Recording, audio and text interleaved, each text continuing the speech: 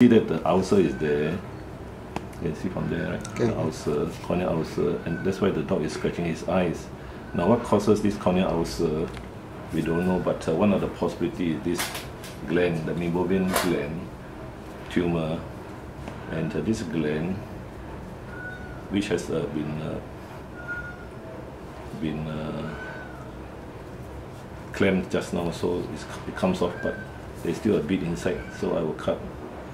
We'll cut from the conjunctival side. The conjunctival side is inside. So to the sharp ends, to the sharp ends, and uh, make a small cut.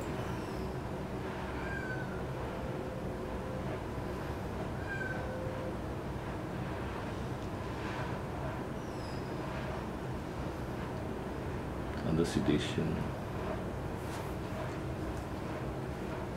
So we just invert the eyelid.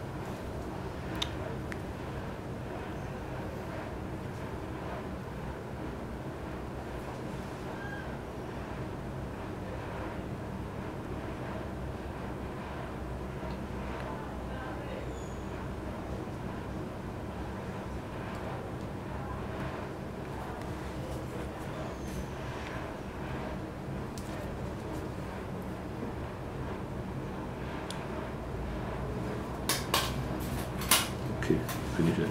Don't don't take it.